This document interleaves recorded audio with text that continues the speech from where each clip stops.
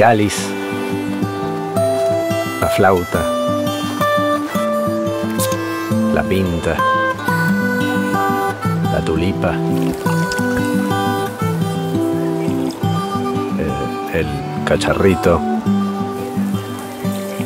el peor vaso de cerveza del mundo. O el mejor, depende. Definamos lujo.